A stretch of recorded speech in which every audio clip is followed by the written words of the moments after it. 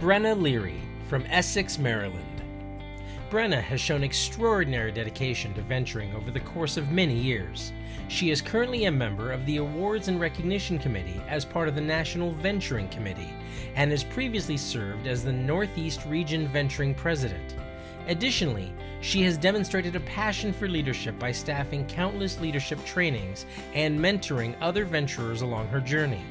Outside of venturing, she is a jump scale operations and marketing coordinator.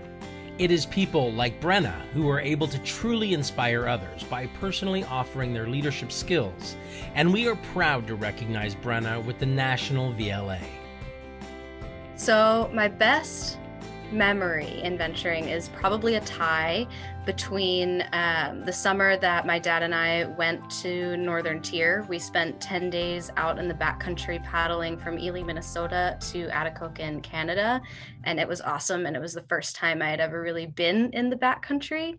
Um, and the other memory that comes to mind is my experience staffing the NYLT Leadership Academy, for the three years that I was able to be on staff and work with youth from all over the country to help them make a greater impact on youth back home.